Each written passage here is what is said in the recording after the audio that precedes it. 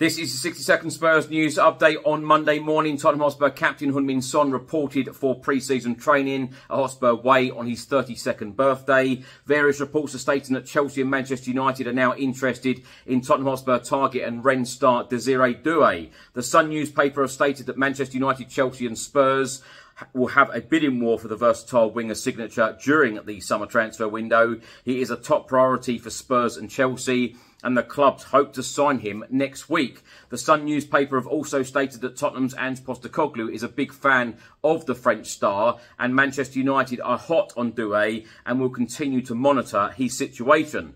Tottenham Hotspur defender Micky van de Ven on who is the quickest, him or Saka. He said it's difficult to say. If you look at the data, you will get the answer. Uh, the Tottenham Hotspur under 21s will have their first pre season friendly this coming Saturday away at Enfield Town, uh, 3 pm kickoff, and you can buy tickets on the gate.